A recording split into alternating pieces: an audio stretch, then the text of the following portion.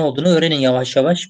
E, ilk kez işlere girecek arkadaşlar için sadece genel bir bilgi olacak. Önce bu tarz bir eğitim almış ya da proje yazmayı bilen arkadaşlar varsa onlar da neyi nerede yapacaklarını rahatlıkla öğrenirler. Yol haritamıza bakalım hemen hızlıca. Yol haritamız şöyle sunum planı. Öğrenci projesi ne demektir diye başlayacağız. Öğrenci projesi ne demektir? BİDEP üyeliğinden bahsedeceğiz. Lisansüstü projesi ne demek? Lisans projesi ne demek?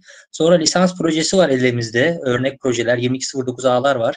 Ya başka büyük projeler de var da 2209A üzerinden anlatmak en azından öğrencilerin bu işlerde nasıl ilerleyebileceğini göstermesi açısından kıymetli bence.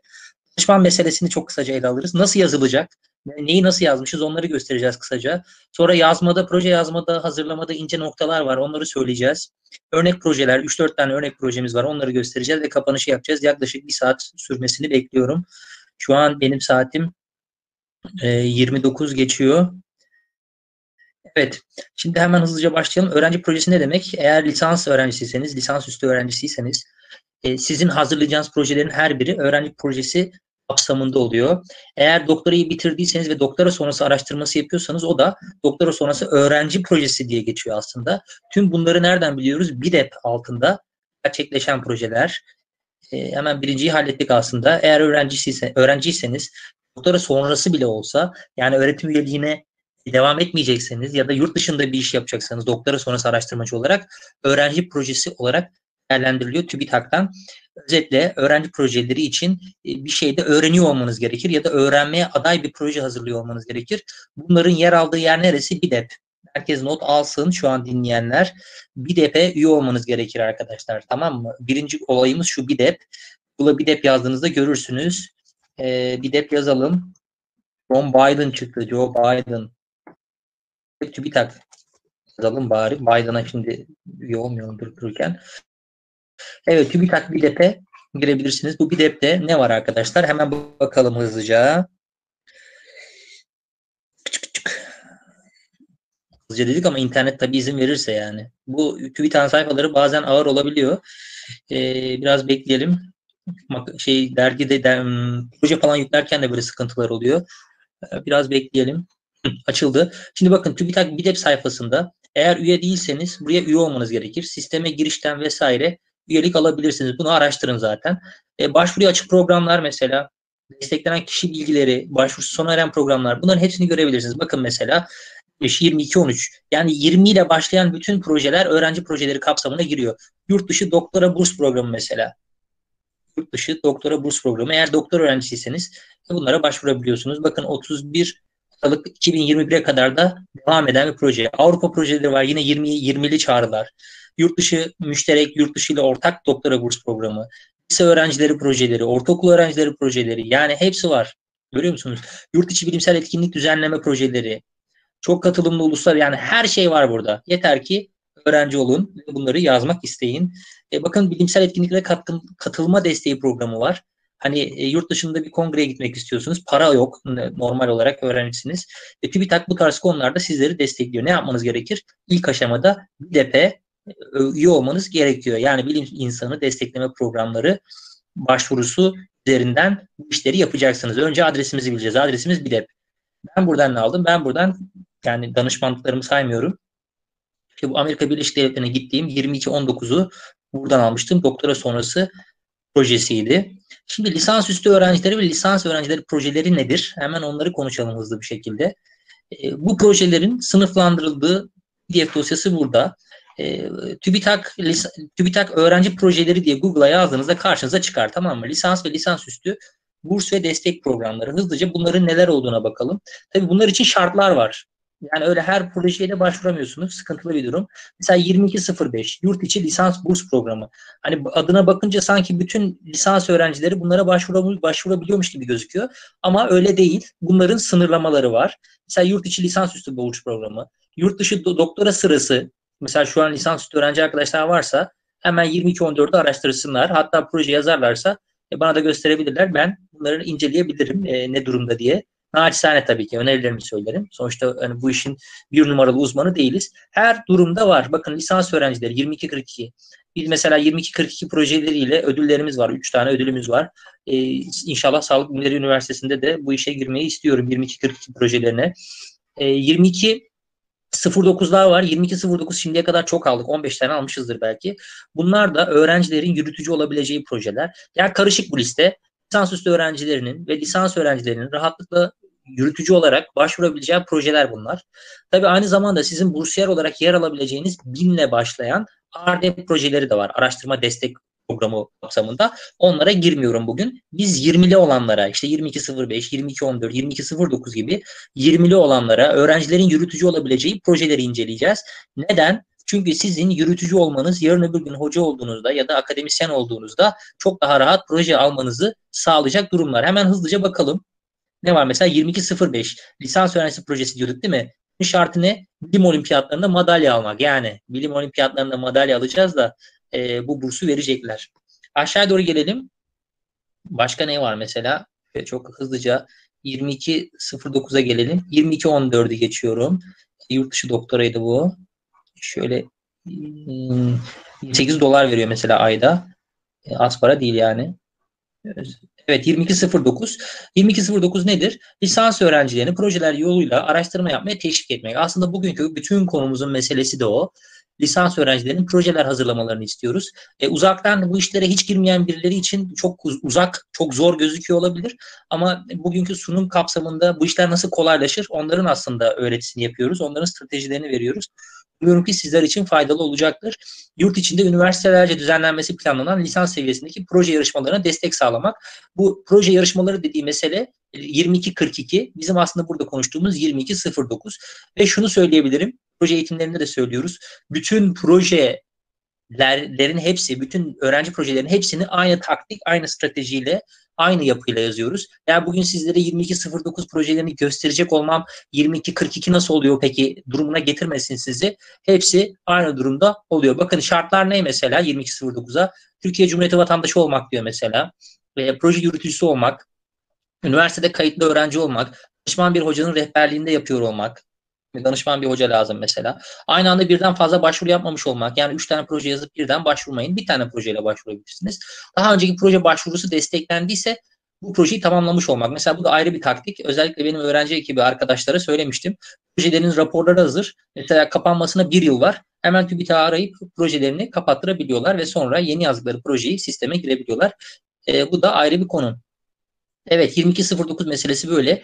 Diğer e, lisansüstü projelerde e, aşağı yukarı aynı yapıyla irdelenen durumlar. O zaman lisansüstü ve lisans projelerinin listesini e, bir tak öğrenci projeleri diye Google'a sorduğunuzda PDF önünüze çıkacaktır. Oradan rahatlıkla koşullara bakarsınız ve nasıl olacağını görürsünüz. Evet aslında 5. maddeyi de konuştuk şu anda. Ee, özellikle lisans öğrencilerinin ana hedefi nedir? 2209A projeleri. Bu projelerle beraber yürütücü olabiliyorsunuz ve sonrasında mezun olana kadar Hani kaç tane yapabilirsiniz? Yani her dönem bir tane yazsanız işte 2. 3. 3. sınıftan itibaren yazdığınızı düşünün. 3 tane 4 tane 2209 projesine yürütücü olabilirsiniz. Ve her birinden birer makale, orijinal araştırma çıksa yani etki faktörü olmayabilir. E, bu sizin özgeçmişinizi çok yukarı taşıyacaktır. Türkiye'de de çalışsanız, yurt dışında da çalışsanız, eğer araştırmalarda, projelerde yer alıyorsanız e, oralarda kabul alma ihtimaliniz çok çok çok yukarı çıkıyor. Şimdi gelelim danışman meselesine. Danışmanı nereden bulacaksınız? Danışmanı ilgi duyduğunuz konu üzerinden bulacaksınız tabii ki. Yani e, önce üniversitenize bakabilirsiniz. Üniversiteniz neresi? Diyelim ki üniversiteniz Sağlık Bilimleri Üniversitesi. Değil mi? Bunun üzerinden anlatalım. Geçen birinci derste de bu tarzda anlatmıştık. Bu arada soru varsa sorulara bakabilirim sonradan. E, şöyle şu chat kısmına yazarsanız soruları. E, Arda da beni uyarırsa hocam soru var diye oradan takip edebilirim. Şu an bugünkü aslında anlattığım şeyler biraz genel bilgi tekrarlıyorum e, genel bilgiden sonra e, eğitim almamış arkadaşlar eğitim alırsa ancak bu projeleri yazabilirler ya da eğitim almış arkadaşlara e, strateji babında anlatıyorum. E, sorunuz varsa chat kısmına yazabilirsiniz sonradan döneriz. Şimdi hangi üniversitedeyseniz öncelikle bu üniversitenin hoca ekibine bakıyor olmanız gerekir. Değil mi? Yani danışman bulabilmek için. Peki farklı da okuldan olabilir mi? Farklı okuldan olabilir. Bunda problem yok. Ama ilk hedefiniz bulunduğunuz üniversitenin hocalarıyla proje hazırlıyor olmanız. E, nerede olun diyelim. Mesela bildiğimiz fakültelere Hamidiye Tıp Fakültesi'nde olabilirsiniz mesela. Hamidiye Tıp Fakültesi'ndeyseniz buraya tıklıyorsunuz ve tıp fakültesindeki akademik yapıya bakacaksınız. Hangi alanda çalışmak istiyorsanız, hangi alanda çalışmak istiyorsanız, mesela beyin ve sinir cerrahisinde çalışmak istiyorsanız akademik kadrosuna bakacaksınız. Boş çıkıyormuş bir de. Bilmiyorum Allah kim var. Ee, internette biraz problem var. Ee, en azından strateji açısından söylemek gerekirse bakacağınız stalklayacağınız yerler kendi üniversiteniz üzerinden olmalıdır. Tamam mı arkadaşlar? Ee, Hocam bir soru var. Chatte. Takıldı kaldı ya. Ayşen Çılık. Hocam 2209 projesinden sonra aynı projeli TÜBİTAK lisans yarışmalarına da katılabilir miyiz? E, katılabilirsiniz herhalde ama itiraz gelirse sıkıntı yaşayabilirsiniz onu söyleyeyim. E, ya itiraz gelirse sıkıntı yaşayabilirsiniz. Birazcık revize ederek başlığını ve hipotezi birazcık revize ederek başvurulabilir. Bir problem olmaz bence. E, öyle söyleyelim. Evet şey diyorduk. Hoca bulma meselesi. Danışman bulmak çok kıymetli. Danışman nereden bulacaksınız? İlgi duyduğunuz ilk aşamada üniversitenizde ilgi duyduğunuz alandan bir hoca bulmakla ben şeye giremiyorum. E, anatomiye girelim mesela burada. Açılacak mı? Açıldı. Mesela anatomiyle ilgili bir proje yazmak istiyorsunuz. Hemen anatomideki hocalara bakacaksınız tek tek. Ve e, anatomi, anatomideki hocalardan işte hangisiyle iletişime geçerseniz e-posta gönderebilirsiniz, randevu isteyebilirsiniz. Veya okulunuzda olduğu için e, kapısını çalıp hocam müsaitsiniz ya da randevu yine yüz yüze talep edebilirsiniz. Ve sonrasında e, ne yapabiliriz? diye konuşabilirsiniz. Ya da yol yordam e, akademik usul biliyorsanız öncesinde bir derleme, öncesinde bir araştırma makalesi okuyarak da e, onun yanına gidebilirsiniz. Ya da hocanın ne çalıştığını bulabilirsiniz. Hocanın ne çalıştığını akademik özgeçmişinden bulabilirsiniz veya ismini Google'a sorduğunuzda e, size yol gösteriyor olabilir. E, böyle söyleyebilirim. Şu an birazcık üstü kapalı anlatayım danışman meselesi böyle. Peki üniversitenizde bulamadığınızda ne yapacaksınız? Aynı şehirden farklı üniversitelere veya aynı kurumdan farklı fakültelere geçebilirsiniz. Mesela Hamidiye Tıp'ta yok. E bu sefer Sağlık Bilimleri Fakültesinde olabilir. Veya başka bir diş hekimliği fakültesinde olabilir. Yani tıp fakültesi öğrencisi olarak diş hekimliğinde de bir proje yapabilirsiniz. Tıp fakültesi öğrencisi olarak eczacılık fakültesinde de bir proje yapabilirsiniz. Bunlardan hiç çekinmeyin. Hatta çok daha kıymetli oluyor. E, projelerinizin kabul alma ihtimali yukarı çıkıyor onu söyleyeyim danışman bulma meselesi böyle. Birazcık arayacaksınız yani. Birazcık e, kapı aşındıracaksınız. E, diğer türlü çok zor oluyor. E, aramızda yani danışman bulamayan arkadaşlar var. Onları biliyorum. Mesela yapmak istiyor öğrenci. Öğrencinin motivasyonu var.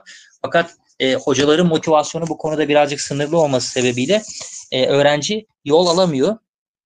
E, ama e, etrafta üniversitede en az bir tane motive hoca varsa e, diğer arkadaşlarına da yardımcı oluyor. Onu da biliyorum yani. E, özellikle bizim Yozgat üzerinden söyleyecek olursak Yozgat'ta ilk aşamada ben tek başıma hani bu işe başlamıştım. E, işte 3 tane 4 tane proje alınca diğer arkadaşları da e, önere önere e, şu an 2 tane 3 tane daha hocamız e, bu işleri takip ediyorlar. Hatta sonra göstereceğim projelerde e, ortaklarımdan biri. Danışman meselesi böyle. Gidip kapı çalacaksınız. Hocanın makalelerini okuyacaksınız. Hocanın çalıştığı konuyla ilgili derlemeler, orijinal araştırmalar okuyacaksınız. Derleme, orijinal araştırma farkını bilmiyorsanız da onu öğrenmeniz gerekir bir şekilde. Eğer e, proje eğitimi almadıysanız ya da proje eğitimi alacaksanız bekleyin bir zaten. Şu an acelesi yok. E, danışman meselesi böyle. Önce üniversitemize bakıyoruz. Sonra bulunduğumuz şehre bakıyoruz. Sonra ailemizin yaşadığı bir şehir olabilir. Mesela İzmirlisinizdir, İstanbul'a geliyorsunuzdur. İzmir'den bir hoca bulursunuz ve öğrenci projenizi yazın gittiğinizde oraya 2 ayda 3 ayda yapabilirsiniz. Yani şu an az sonra göstereceğim proje örnekleri de 2-3 aylık projeler. Yani dünyayı kurtarmalık bir durum yok. Zaten TÜBİTAK'ın size verdiği para 4 bin lira. Yani 4 bin liraya bir tane malzeme alabiliyorsunuz ve onun projesini yapabiliyorsunuz. Tabii lisansüstü projeleri üzerinden de konuşalım. Aramızda lisansüstü öğrencileri de var. Lisansüstü öğrenciler için daha çok burs veriyor. Mesela Ankara Üniversitesi'nde lisansüstü eğitim alıyorsunuz diyelim. E, işte biyofizik alanında alıyor olun, doktor öğrencisiniz. E, İstanbul Üniversitesi'nde, Medipol Üniversitesi'nde mesela e, istemiş olduğunuz bir metot var diyelim. O metodun e, kullanarak, o metodu kullanarak tezinizi yapma ihtiyacınız var. Bunu TÜBİTAK proje olarak yazdığınızda TÜBİTAK size aylık atıyorum 2500 lira mesela ya da 3000 lira burs verip tamam Medipol'e e, gidebilirsin aylık işte senin maaşını da ben veriyorum deyip hem o metodu öğrenmenizi sağlıyor hem de yeni bir kurumda çok güçlü bir metodu rahatlıkla öğrenebiliyorsunuz. E, böyle güzel yanları var.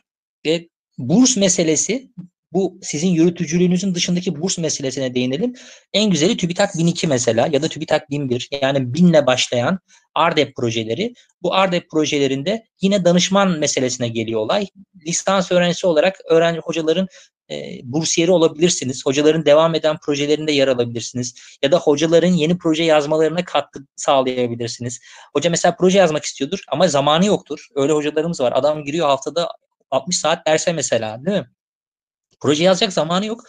Hocam proje yazabilir miyiz? Ben yazabilirim dediğinizde tamam bir yaz bakalım diyecek. Eğer iyi yazarsanız gönderdiğinizde e, güzel bir şekilde de sonuçlanırsa o yazdığınız projede bursiyer olabilirsiniz. Ya da tam tersi hoca yazmıştır. Sizi siz gidersiniz mesela e, sonrasında e, oradan maaş alıyor olursunuz. Yani lisans öğrencisi olup ayda 750 lira almak, 500 lira almak bence az para değil yani. Ayda ben lisans öğrencisiyken 500 lira verselerdi herhalde Evet takla ata giderdim yani. evet. E, danışman meselesi bence kıymetli burada arkadaşlar. Yani 6. numara eğer doğru danışman bulursanız e, sizi yukarıya doğru taşır yani lisans öğrencisiyken de yüksek lisans doktor öğrencisiyken de e, danışmanı doğru tayin etmek gerekir. Bunda da, bu da e, çok güçlü bir stalk istiyor. Çok güçlü stalk'u da dediğim gibi ya e, Google Scholar üzerinden yapacaksınız. Şurada Google Scholar'ı biliyorsunuz ya da ResearchGate üzerinden yapacaksınız. E, ResearchGate.net var. E, onu hemen yazayım tekrar bu chat kısmına. E, ResearchGate'den hocaları bulabilirsiniz. ResearchGate.net bir bakın ne yapıyor mesela ya da özgeçmişine ulaşabiliyorsunuz. Bakın kaç tane projesi var. Son yıllarda ne kadar makale yapmış değil mi? Bunlar önemli parametreler. Ya da Google Scholar şöyle Google Scholar yazalım. E, mesela Google Scholar'a girdiğinizde e, hocanızın ismini yazdığınızda e, son dönemde ne yapıyorsa mesela son dönemde neler yapmış yani son bir yıldır iki yıldır çalışıyor mu e, onu tayin edip e, bakabilirsiniz. Ben mesela hemen kendime bakayım. Mesela ne zamandır makale yapıyor onu görebilirsiniz. Ee, şöyle 2021'den, 2020'den bakın yani bir şekilde e, bir işlere girmiş. 2019'dan makaleleri var yani işte 2018, 2017, 2016. Yani muhtemelen bu dönemde başlamış ve sonrasında yavaş yavaş çalışmaya başlamış. E, süre gelen bir çalış, çalışma temposu var. Demek ki bu bir şeyler yapıyor bu bir şeyler yapıyor. E, bu kişiye gidip e, sorabilirsiniz. E, adresini mesela bilmiyorsanız hocanın e-mailine ulaşamadınız. Makaleler üzerinden ulaşabilirsiniz. E-mail adresine mesela makale tıklayalım. Makale tıkladığınızda sizi dergiye gönderecektir. Dergiden makaleyi okuyamazsanız da hocanın iletişimine erişmek için e, şuradan tıkladığınızda mesela bugün de asla açılmıyor hiçbir şey yani resmen. evet mesela böyle bir e-mail adresi burada e-mail adresinden yola çıkarak hocaya yazarsınız. Hocam merhaba ben işte epilepsi çalışmak istiyorum. E, aynı üniversitedeyiz. Öğrenciyim. Epilepsi çalıştığınızı gördüm. Nasıl yapabiliriz falan diye sorabilirsiniz. E, hoca cevap verirse oradan yürürsünüz. Hoca cevap vermese de e, zaten aynı üniversite olduğunuz için kapısını çalarsınız. Hocam mail atmıştım ama e, sanırım meşgulsünüz. Çok yoğunsunuz biliyorum. E, ne zaman görüşebiliriz falan diye. Eliniz boş gitmeyin. Bu anlamda e, makale okuyor olmanız gerekir. Bir şeyler çok az da olsa e, anladığınız, hani hocanın anladığı dilden konuşabilmeniz lazım. Eşref Mehmetov, hocam 22.09'a başvurmak için TC vatandaşı olması şart mı? PDF'de öyle yazmış da sitede yazmamış. Valla ben şart değil diye biliyorum Eşref. Hatta bizim şey başvurdu. Hmm, Seher başvurdu. Seher burada mı Seher? Seher benle beraber başvurdu da e, nasıl olacak bilmiyorum. Bence zorunlu değil yani. Hmm, yani o, o sebeple reddederlerse çok olmaz yani öyle söyleyeyim. Sormak gerekir ama sorabiliriz. Evet evet sorabiliriz Eşref. Ben de onu merak ettim hatta bakarken Seher'e söyleyeyim hafta içi arasın. E çünkü e, Türk, Türkiye vatandaşı değilse ne yapacak yani proje yazmayacak mı? Burada uluslararası öğrenciler var. Evet böyle bir durum var. Hatta onu revize edebilirler yani en azından. Biz böyle bir uyarı yaptığımızda o şartı düzeltebilirler. Evet. E, bunlar tamam bence. Bunlarla alakalı sorunuz varsa chat kısmına yine yazabilirsiniz, konuşabiliriz. Çok hızlıca toparlayalım. Böyle daldan dala atlamış olmasın. Öğrenci projesi ne demek? Öğrenci projesi TÜBİTAK tarafından desteklenen projeler. TÜBİTAK tarafından desteklenen öğrenci projeleri BİDEP sayfası altında yer alır. BİDEP'e projeniz olsa da olmasa da üye olun. Üye olun. Bir akademik kimlik şimdiden kazanın. Lisansüstü projeleri, lisans projeleri hepsi 20 ile başlayan 20 işte 2209 gibi 20'li sayılarla başlayan kodlar üzerinden ilan edilir o projelere her zaman başvurabilirsiniz. Lisans öğrencisi de, lisans üstü öğrencisi de olsanız bu projelerin yazılma yapısı aynıdır. Bu yapıyla hem hoca projesini de lisans üstü lisans projelerinde rahatlıkla yazabilirsiniz. Proje yazmanın meselesi sadece yapıdır. Bizim öğrettiğimizde odur eğitimlerde. 2209 üzerinden anlatacağız dedik bugünkü dersi ya da eğitimi whatever. 2209 ee, projelerinin lisans projeleri olduğunu biliyoruz. Lisans projelerinde yürütücü olabiliyorsunuz. Öğrencilere böyle bir e, ne derler kazancı var. E, düşünsenize özgeçmişinde şey yazıyor. Yani, TÜBİTAK projesi yürüttüm yani. TÜBİTAK projesi yürütücülüğü yapmak efsane bir olay. E, danışman meselesini söyledik. Büyük bir stok lazım doğru hocayı bulmak için. Biraz da şans gerekiyor tabii. Hoca mesela daha önceden öğrenci almışsa, 5 tane öğrencisi varsa, 6. istemiyorsa ne yapacaksınız? E, problem. En azından hocaya hocam en azından sizin gibi birisi varsa falan deyip e, öneri isteyebilirsiniz ve oradan yürüyebilirsiniz. Evet. Danışman meselesi bütün bu meseledeki e, anahtar nokta. Nasıl yazılacak? Peki tamam hocam anladık. Proje yazalım hadi diyordunuz ama nasıl yazılacak? Proje nasıl yazılacak? Proje yazılmış proje üzerinden konuşalım. Mesela bizim kıymetli öğrencilerimiz var. Onların projeleri üzerinden konuşalım. Bakın bu bir TÜBİTAK 2209A öğrenci projeleri araştırma projeleri desteği programı da araştırma önerisi formu. Bir form üzerinden işte 15-20 sayfalık bir form üzerinden hangi yıl kaçıncı dönem başvurduğunuzu gösteren bir form. Yani maddeleri var. Oyun gibi. Sadece ilgili yerleri dolduruyorsunuz. Genel bilgiler. Özet istiyor mesela. Özet. Tamam şöyle hızlıca önce bir formu görelim. Özgün değer. Özgün değerden kastı konunun önemi, e, araştırma sorusu hipotezi nasıl yazabiliriz diye soruyorlar. Bunu dolduruyorsunuz. Bu kutucukların içine yazıyorsunuz. Şöyle hızlıca sadece yerleri göstereyim. Sonrasında ilerleyeceğiz. Bakın özgün değer. Bir sonradan geliştirdiğimiz metot var. Bu inceliklerden aslında mesela öğrenci arkadaşlara söylüyoruz böyle figürler çizin diye. Figür çizmeyi öğretiyoruz tabii nasıl çizmeleri gerektiğini. Amaç ve hedefler mesela. Hep sabit yapılarımız var. O şekilde yazıyoruz. Yöntem. Uzun uzun yöntemi yazıyoruz nasıl olduğuna dair. Şimdi tabii öğrenci projelerinde incelikler var. Ondan sonra söyleyeceğim. Hocam 4000 lira veriyor zaten. Bunları nasıl yapacağız diye soruyorsunuzdur şu anda. Bakın bütün metodu gösteren mesela figür, böyle figürler çizebiliyor olacaksınız. E, proje eğitimi sonrası veya proje eğitimi aldıysanız zaten çiziyorsunuzdur şu anda. Proje yönetimi. Bakın 3 ay. 3 ayda bitirecek mesela projeyi. Bu proje çıkarsa. Betül daha önce iki tane TÜBİTAK 2209 yaptı. E, bir de şu an Arda ile beraber hani Türkiye derecesi olan arkadaşımız e, risk yönetimi tablosu mesela. Bir tane maddesi var, bir tane risk yönetimi yazıyor. Araştırma olanakları, neyi nerede kullanacak? Yaygın etkisi, bilimsel akademik ne çıkarabilir projeden? Ekonomik katkısı var mı? Araştırmacı yetiştirilmesi ki zaten öğrenci yürütücü olduğuna göre en büyük araştırmacıyı yetiştiriyorsunuz. Yani sıfırdan lisans öğrencisinden araştırmacı oluşturmuş oluyorsunuz. Belirtmek istediğiniz diğer konular dediği de öncesinde eğer veriniz varsa iki tane proje yapmış yani muhtemelen ek verileri vardır. Bu şekilde yazıyorsunuz. Tabii bu proje biraz çok kapsamlı uzun bir şekilde yazıldığı için biraz göz korkutuyor olabilir. Ama ilk kez yazacaklar için de aşağı yukarı e, bu yöntemde, bu yapıda yazılabilir. Bunun da garantisini veriyorum. Son olarak kaynaklar yazılır. Kaynaklar da A'dan Z'ye hazırlanması isteniyor. Bunda belli bir yapı şeklinde hazırlanması gereken kısım. Evet. Böyle. Şimdi gelelim yapısal olarak konuştuk. Gelelim içeriğine. İçeriğini şöyle bir 10 dakika konuşalım. Çok da zamanınızı almayalım.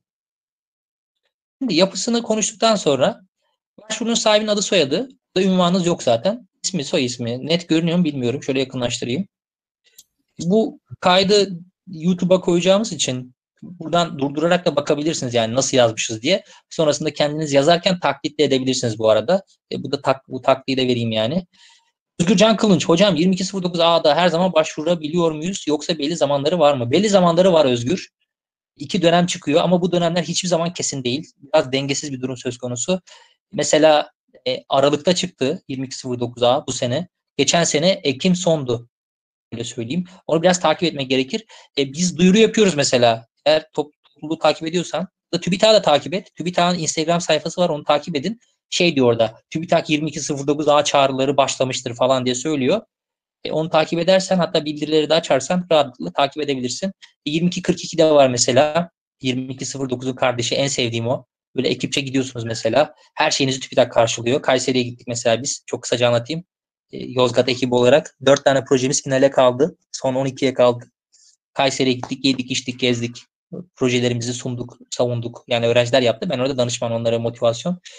E, orada mesela e, TÜBİTAK destekliyor siz 22-42'de. Yazdığınız projeleri e, destekliyorlar ve siz orada yarışıyorsunuz. Sonrasında bir ilk üç belirleniyor falan. Evet 22-42'ye de bakarsınız. E, şeyi takip edin. Twitter'ın Instagram'ını takip edin en azından. Orada söylüyorlar. Evet. Şimdi projeleri inceleyelim. Dört tane proje inceleyeceğiz hep beraber. Başvuran adı soyadı Betül Köklü. E, proje başlığı. Proje başlığı 7-8 kelimelik hazırlanması beklenir. Yazmış mesela nelere bakacağını yazmış. 3 tane doku söylemiş. Bakmak istediği yer. Danışman adı soyadı. Züleyha Hoca benim çalışma ortağım. Ben, olmuyorsam o oluyor zaten. Yani ha olmuş ha ben hiç fark etmez. Ee, bu sefer o olsun dedik yani mesela böyle bir aramızda anlaşma var. 10 tane yazıyorsak 5 tanesine onu danışman yazıyoruz. 5 tane ben yazılıyorum.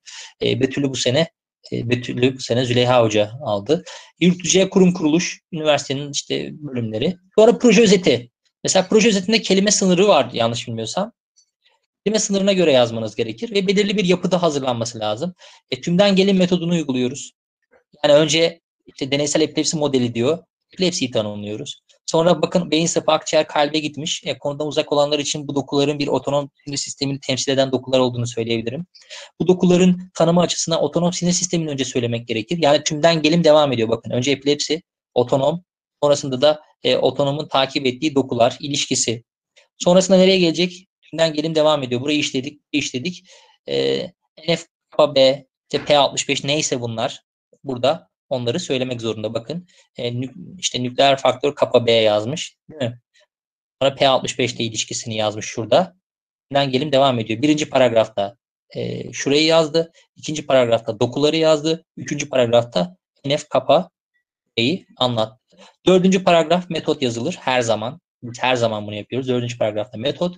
Beşinci paragrafta da çıkacak sonuçlar ve sonuçların önemi diye. Daha evvel bu tarz bir eğitim almamış arkadaşlar için biraz yabancı gelebilir. Ama öncesinde eğitim almış arkadaşlar veya bir şekilde daha önce proje yazmış arkadaşlara oldukça tanıdık. Sadece onlara güzel bir tekrar oluyor. Güzel bir uygulama eğitimi oluyor. O açıdan kıymetli olduğunu düşünüyorum. Anahtar kelimeler, özellikle başta olmayan kelimeler mesela değil mi? E, deneysel epilepsi modeli demiş burada. Hangi modeli kullanıyormuşuz? PTZ'yi kullanıyormuşuz. Anahtar kelimeye PTZ yazmış bizim uyanık arkadaş. De. Düzgün değer nedir? Literatür özeti. Uzun uzun literatür özetini yazmak gerekir. Önce bakalım sayfa yazmış. 1, 2, iki buçuk sayfa literatür özeti yazmış. Aynısı tümden gelim metodu. Yani e, bu tümden gelim metodunu nereden çıkardık? Tabii ki bu bizim okumalarımız var. Okumalardan da hani biliyoruz. E, Aristoteles'in önerdiği mantık sıralamasında o tüme varımı söylüyor. Araştırmalar için tüme varımı söylüyor. Yani bir araştırma yapıyorsanız NF kappa B'yi mesela araştırıyorsunuz. P65'i araştırıyorsunuz. Buradan tüme varıma en son e, konunun özüne kendisine doğru gelirsiniz diyor. Tabii bu araştırmanın projesini yazıyorsunuz.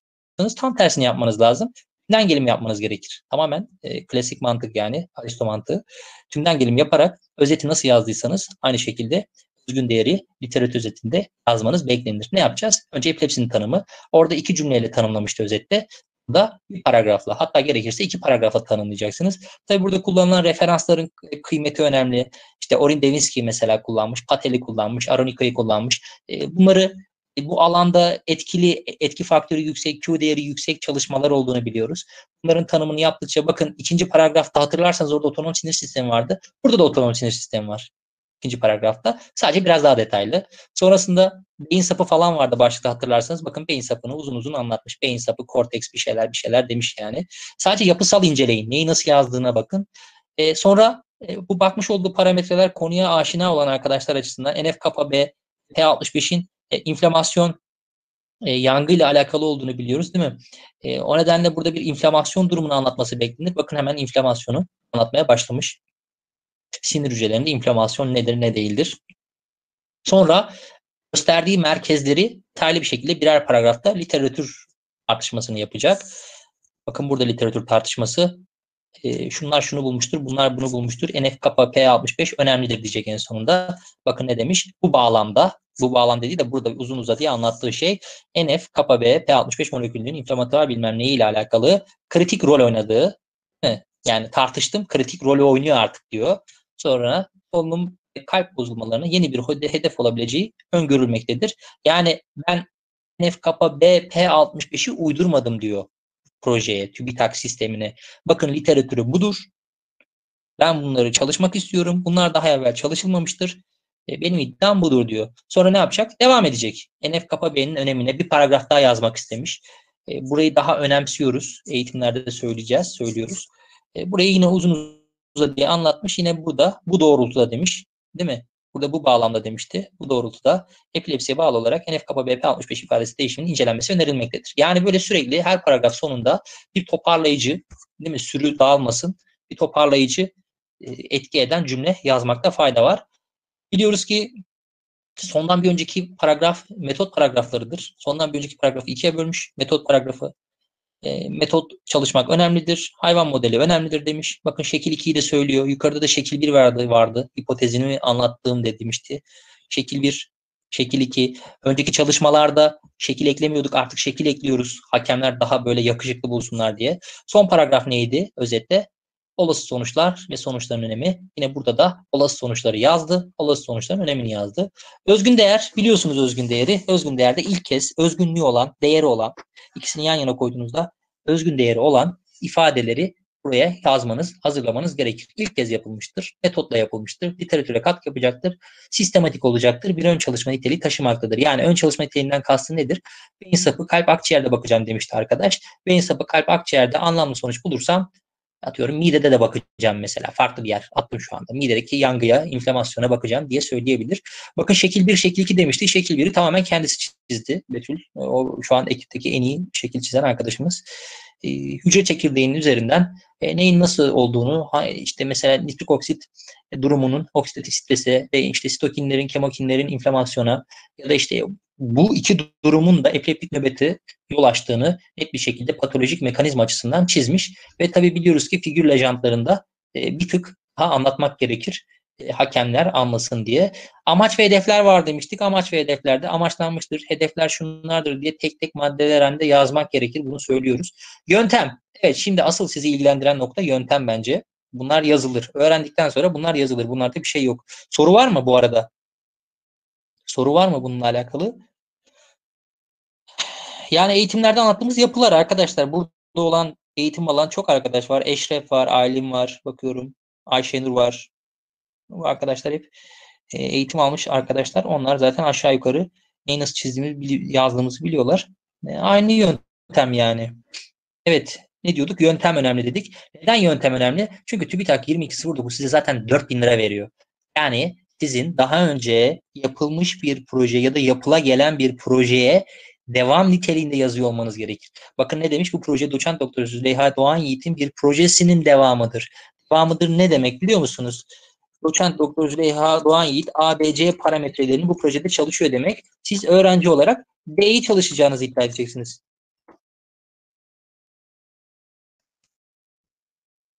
Evet bu kadar. Bu kadar basit. O yüzden hocaları iyi stalklayın diyorum. Hocanın profiline girin bakın ne projesi var. Projesini bulun. Ondan sonra da bakın neleri çalışıyor mesela. Endoplazmik retikulum stresinin nöroprotektif ajanlarla inhibisyonu. Değil mi? Endoplazmik retikulum stresi çalışıyor. Bu arkadaş da inflamasyon üzerine ilerlemek istemiş.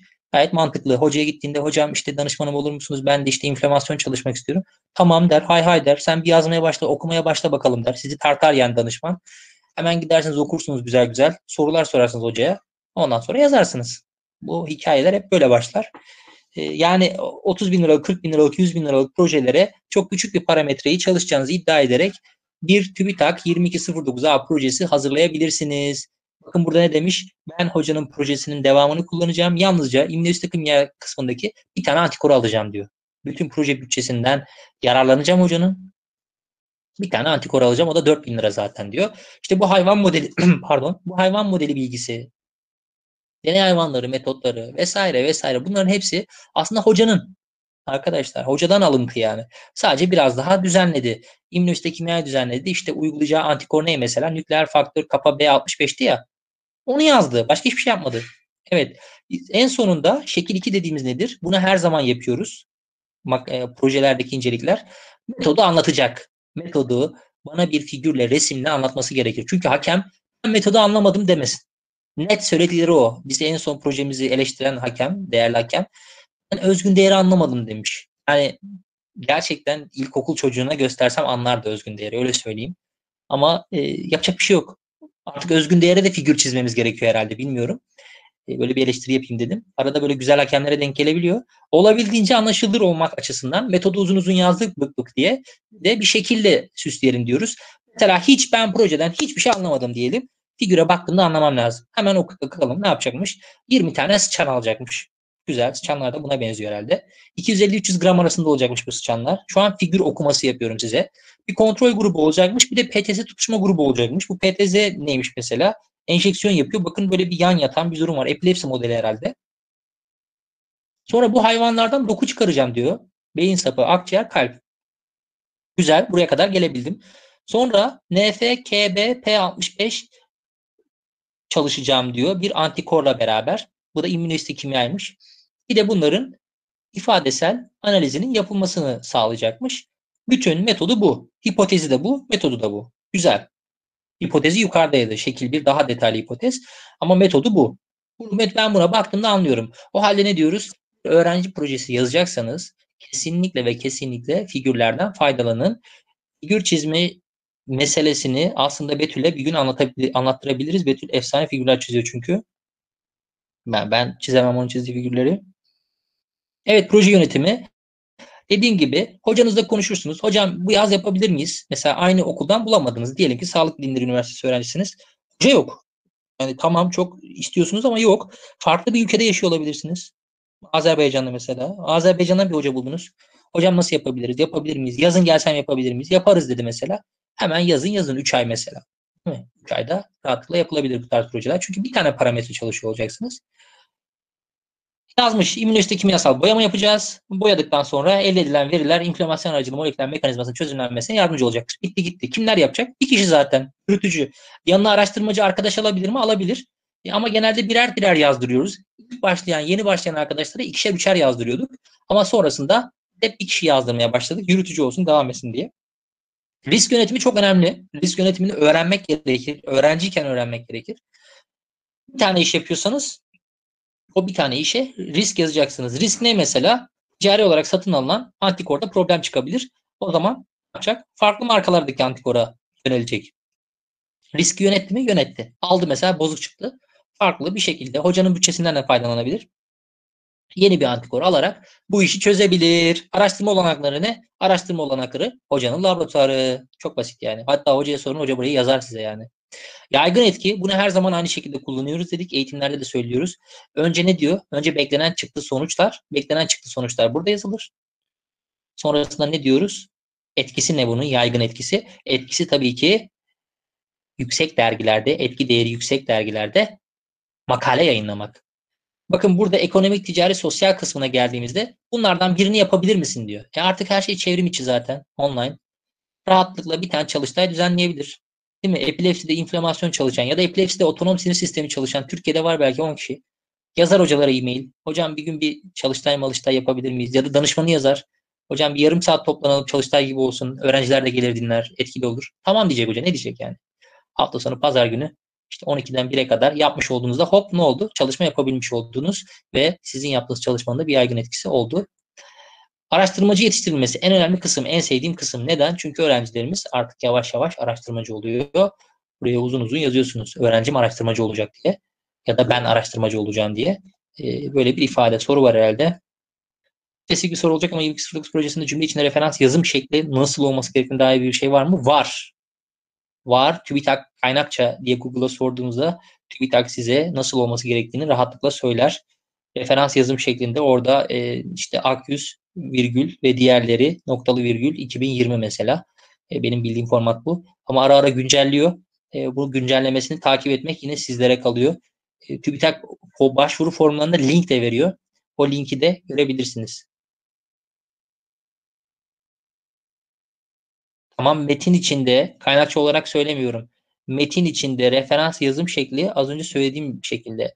Yazdım mesela epilepsi beyinde uyarıcı ve baskılayıcı dengenin bozulması sonucu oluşan nörolojik bir hastalıktır. Nokta. Ama bu cümleyi nereden aldım? Devinsky'den aldım. Noktadan önce parantez açıyorum. Devinsky e, ve diğerleri Devinsky virgül ve diğerleri noktalı virgül 2018 parantezi kapatıyorum şeklinde metin içinde referansı bu şekilde veriyoruz. Kaynakçasında e, yine o TÜBİTAK kaynakça yazdığımızda ona erişebiliriz. Evet ben teşekkür ederim. Belirtmek istediğiniz diğer konular burası çok kıymetli. Çünkü hakem buraya bakıyor. Ne diyeceksiniz? Hocanın zaten projesi var. Ben de yanına şey yaptım ne derler. Yanına e, eklendim. Öyle diyelim. Bu V küçük olacak bu arada. Bunu ben gözümden kaçırmışım. Okuduğumda. Demiş. Bak çok güzel ifade etmiş projenin kabul edilmesi durumunda yürütücü adayı yaz tatilinde laboratuvara giderek projenin yürütülmesini sağlayacaktır. 3 ay yazmışım zaten. 1 yıl demedim ki. Değil mi? Bizim şu an yazdığımız projeler farklı kurumlardan arkadaşlar var. Cerrahpaşa'dan öğrencim var mesela şu anda. Cerrahpaşa'dan, Düzce'den, Tekirdağ'dan, neyse artık farklı üniversitelerden. Eğer projelerimiz çıkarsa yazın hep beraber toplanıp Züleyha Hoca'nın laboratuvarına gideceğiz. Yazın Yozgat'ta Hem Hattu Şaş'ı görürüz hem Alacahöy'ü görürüz. Hem de orada girerler iki haftada çok rahatlıkla bir haftada iki haftada bu tarz projeleri yaparlar yani. Rahatlıkla yaparlar. Hem de kültürel gezimizi de yapmış oluruz. Daha önceki projelerden elde ettiğiniz sonuçlar varsa onları ekleyebilirsiniz. Daha önce bir sözlü sunum yaptıysanız onun bilgisini ekleyebilirsiniz. Bak burada uzun uzun yazmış. TÜBİTAK 22-42'de yarıştım. Bölge finalinde kaldım. Bezmi Alem'de staj yaptım. Önemli olduğunu göstermesi lazım. En iyi genç araştırmacı ödülü aldım. Türkiye üçüncülüğüm var, Ankara birinciliğim var falan. Star ödülüm var, Star bursum var diyor. E, bilimsel kongre ve proje eğitimlerinde yer almaya özen gösteriyorum falan diye kendini övmüş. Kaynaklar, kaynakların bir formu var. E, Ayşenur'un da sorduğu gibi e, referans verme şeklini TÜBİTAK kendisi ön, öneriyor. Onun şeklinde hazırlıyorsunuz. Yani her şeyin noktanın virgülün hepsinin bir anlamı var burada. Burada nokta virgül karışmayacak hiçbir zaman. Danışmanlarınız bunu takip eder, okur, anlar. Evet bizler en azından okuyup bakıyoruz. Nokta virgül karışmışsa kızıyoruz zaten bunu nasıl yazmışsın diye. Sonra bir daha düzeltiyor, bir daha da hata yapmıyor zaten. Evet, e, bir proje böyleydi. Soru varsa ara ara sorabilirsiniz. E, Ayşenur kıymetli sorular sordu. E şimdi hemen Arda'ya bakalım. Kaan'cığımın projesine. Arda Kaan Üner. Hı. Arda Kaan Üner nasıl yazmış? Çok hızlıca aşağı yukarı aynı. Çok e, kafanızı da şişirmeyeyim. İsim, proje ismi. Bakın bu arada epilepsi modeli. Neden? Çünkü epilepsi çalışıyoruz ekip olarak. Hayvanlar aynı hayvanlar. Az önceki Betül neye bakmıştı? Akciğere bakmıştı. Kalbe bakmıştı. Öteki neydi? Akciğer kalp. Beyin sapı. Beyin sapıydı. Arda neye bakacak? Beyin sapı, kalp, vagus siniri. Yine aynı dokular bakın. Bir de histoloji olduğu için e, hepsi zaten şeyde camların üzerinde. Sadece orada ilgili antikoru veriyorsunuz ve onun üzerinden çalışıyorsunuz. Üç özeti. Bakın yine tümden gelin metodu. Tümden gelin metodu. Tamamen aynı mantık. Epilepsi modeli. Epilepsi. Ondan sonra e, çalışacağı durumların yerleri, nörotransmitter cinsinden alacak. Onu anlatmış. Sonra doku üzerinden mesele, otonom sistemi. Bunu ikinci paragrafta yapabilirdi. Hiç fark etmez. Otonom sinir sistemini anlattı. Sonra metodu anlattı. Son paragraf, sondan bir önceki paragraf metot. Sonra olası sonuçlar ve olası sonuçların önemini anlattı. Bitti gitti. Başlık glutamat, glutamat reseptörü, otonom sinir sistemi, pentren tetrozol. Neden anahtar kelimeleri bunlardan kullandı? Çünkü bunlar başlıkta yok. Hatırlarsanız eğitim alan arkadaşlara şu an güzel bir derler uygulama oluyor. Literatür özeti. Literatür özetini söylemiştik. Yine tümden gelip sadece paragraf paragraf yazıyoruz. Özellikle kısaca yazıyorduk. Burada paragraf paragraf. Önce ne olacak? Epilepsiyi tanımlayacak. Otonom sinir sistemini tanımlayacak. Sonra glutamatı neden çalıştığını anlatacak. Glutamat şöyledir böyledir diye anlatacak. Sonra neden glutamattan glutamat 5 reseptörünü seçti onu söylemesi gerekir. Onu söylüyor. Bakın iki paragrafta literatür taramasını yapmış uzun uzun. Ve güncel literatür 2020, 2020, 2019 yani burada bir aferin kapmak için böyle yazmış arkadaş. Seviyor aferin kelimesini. Metot hemen bir önceki, sondan bir önceki metot figür 1 demiş. Metodu göstermek adına. Son paragrafta da olası sonuçlar, olası sonuçların önemi. Klasik yani. Özgün değerimiz ilk kez metot, literatüre katkı, sistematik, birebir aynı. Eğitimde söylediğimizin birebir aynısı. Amaçlar amaçlanmaktadır. Hedefler birebir aynı. Maddeler halinde birebir aynı. Sadece kelimeleri değiştiriyoruz. E, beyin sapı kalp vagus demiş. E, Betül de beyin sapı kalp akciğer demişti. Hatırlarsanız. Metot birebir aynı. Bu projede Doktor Enes Akgüz'ün yürütücünün yaptığı bilmem ne modelinde, e, bilmem ne projesinde ki dokuları kullanacağım demiş. Tamam. Yalnızca immünosite kimya kısmındaki antikor ismi değiştirdik. Bakın birebir aynı. Hayvan modeli her şey aynı. Metot. Bunları hocadan aldı. İstatistiksel analiz ve şekil. Bu şekli Arda çizdi tabii. Figür bir şekil nedir? Diyagram. Hiç konuyu bilmeyen, konuyu anlamayan hakem bu projeyi yazdığınızda diyecek ki kardeş ben konuyu anlamadım. Ama şekil var hocam. Bak şekle. Sıçan alacakmış. Birinci günden 28 güne 28. güne kadar PTZ enjeksiyon edecekmiş. Kaç yukarı çıksa PTZ'nin epilepsi olduğunu biliyor zaten. Dokular izole edecek. Ne alacak? Bu üç tane dokuyu söyledik. Glutamat 5 reseptörünü alacağını söyledik. İmmünohistekimya yapacağını söylüyor zaten. Beklenen sonuçlarda e, glutamat 5 ifadesinin değişeceğini söylüyor. kadar basit hipotez metodu.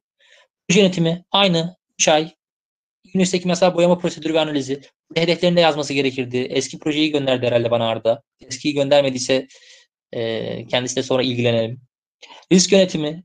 Bakın bir tane paketine iki tane risk yönetimi yazmış. Birebir aynı. Araştırma olanakları, hocanın araştırma laboratuvarı. Yaygın etki, uzun uzadıya yazmış. Aynı şeyleri yazmış bakın. Sadece beklenen çıktıyı değiştiriyoruz. Elde edilecek sonuçlar makale olarak hazırlanacaktır. Sözlü sunum yapacaktır.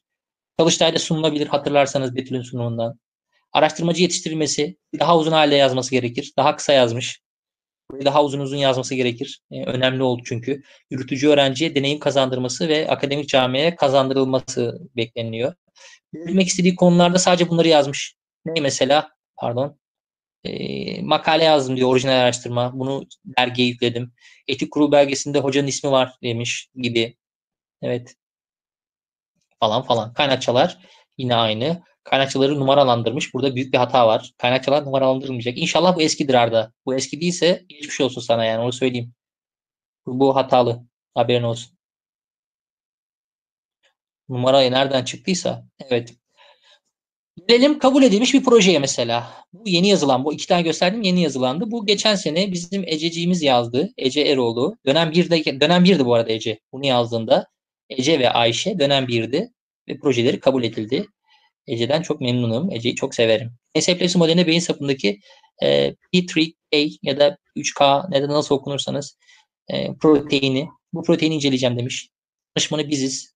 Yaptığı kurum biz. Kimden gelim? Epilepsi nedir? Mi? Epilepsi nedir? Epilepsiyi bir tık daha anlatacağım demiş. Sonra şurada beyin sapı ile ilgili ya da işte neydi metal yeri? E, P3K proteindi mesela. P3K proteini önemseyen cümleler hücresel stres vesaire.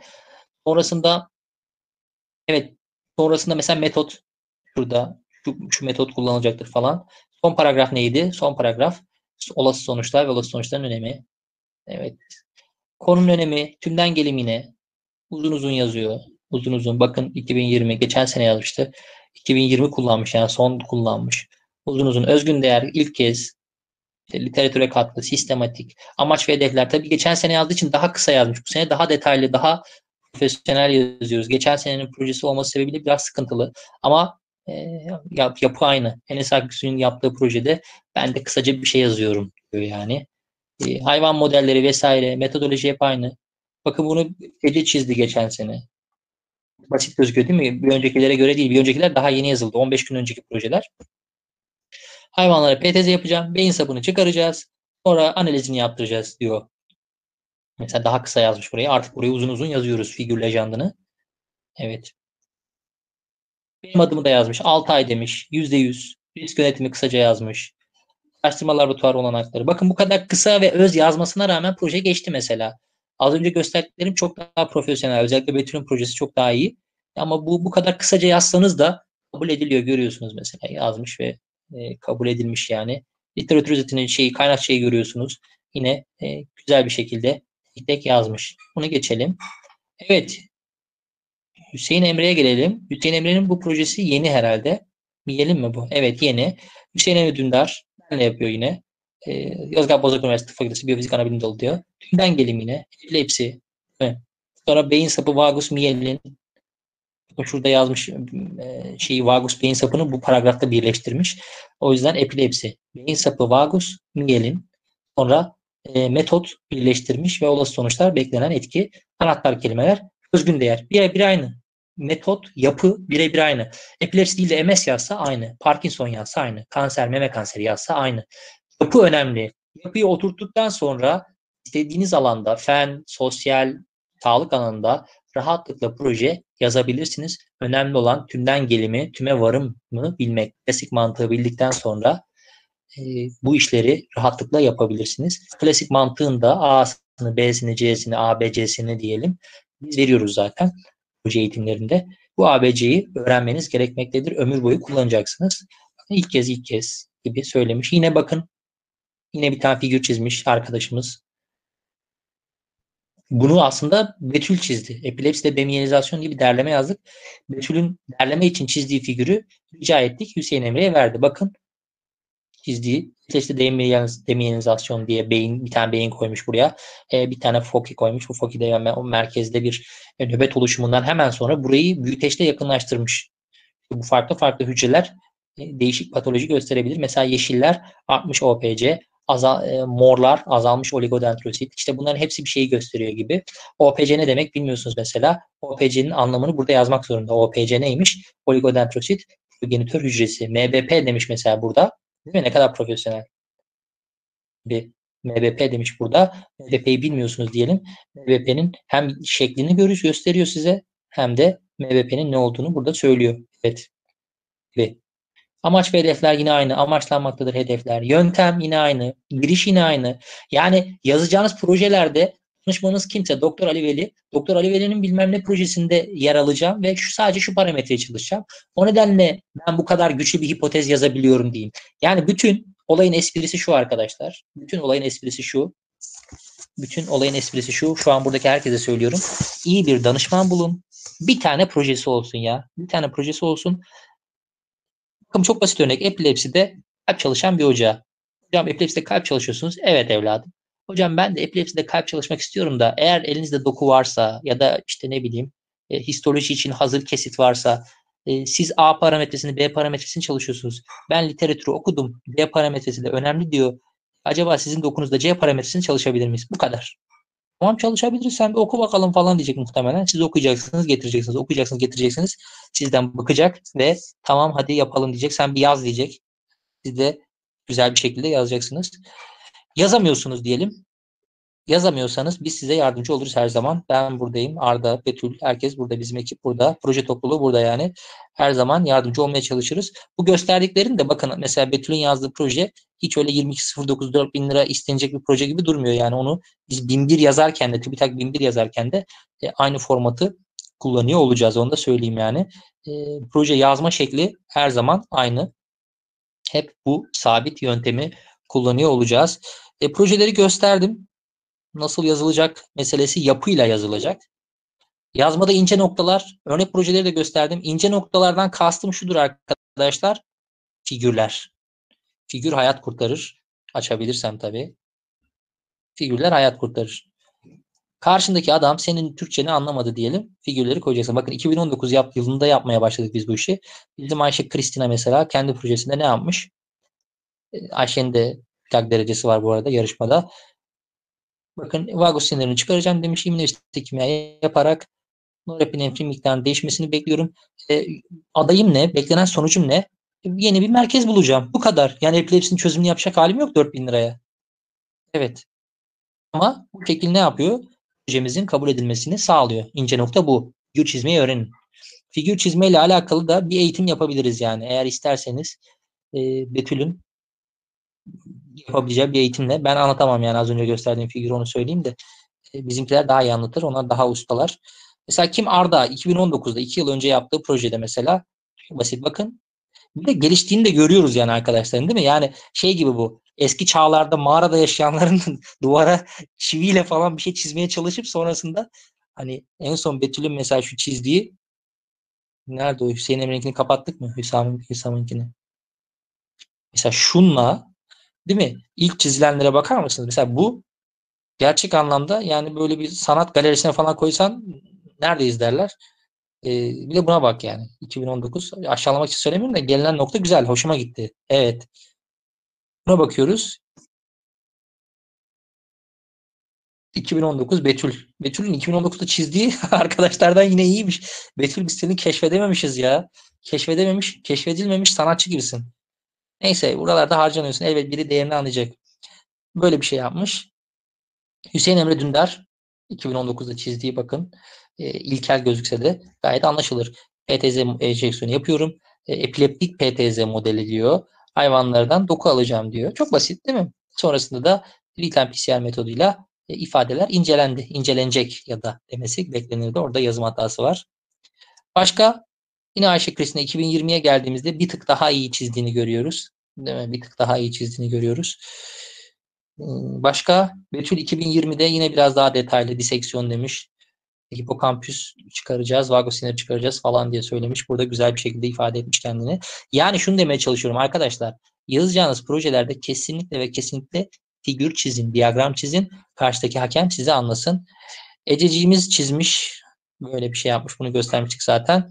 Ece bakın 2020'de bu 2019 aslında değil mi? Bu 2020'de e, yani geçen sene bu. Bu bu sene. 2020 Aralık bu.